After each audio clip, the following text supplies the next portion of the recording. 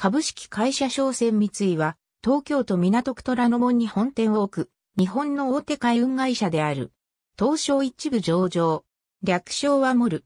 日本郵船、川崎汽船と並ぶ日本の三大海運会社の一社、連結純利益、連結売上高及び、時価総額で国内に LNG 輸送分野に強みを持つ。海上コンテナに記されるアリゲーター印は柳原良平デザイン。ファンネルマークはなく、煙突は大々一色。1964年、新藤浩二社長時代、三井船舶と大阪商船が合併、大阪商船、三井船舶が誕生。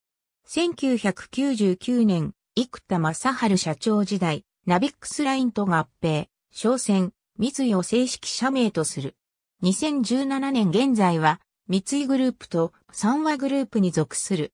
また、コンテナ定期船事業で、 Neptune Orient Lines、HMM と共に The New World Alliance を形成。商船三井が主導して結成された The New World Alliance の前身 The Global Alliance は海運アライアンスの嚆矢。大阪商船タコママルテンリューマルアリゲーターマーク商船三井の多くの船が便宜知積船。ありがとうございます。